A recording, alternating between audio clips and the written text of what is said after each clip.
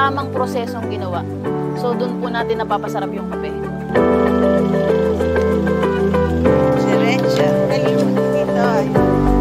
Uh, maraming stalactites, maraming stalagmites. There are six caves in this area. Sa wakas!